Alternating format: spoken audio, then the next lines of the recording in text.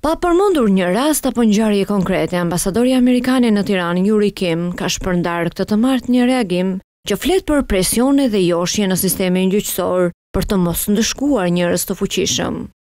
Ne jemi të vetëdijshëm se ka ende shumë përpjekje për të joshur apo për të frikësuar gjyqtarët dhe prokurorët, për të ndryshuar konceptin e drejtësisë, për të këmbëngulur për mos ndëshkim të të fuqishmëve, me pak fjalë, për ta tërhequr Shqipërinë mbrapa.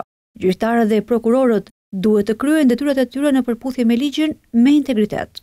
E ka thënë edhe më parë që modeli i drejtësisë para se ajo të reformohet, duhet të jetë një kapitull i mbyllur.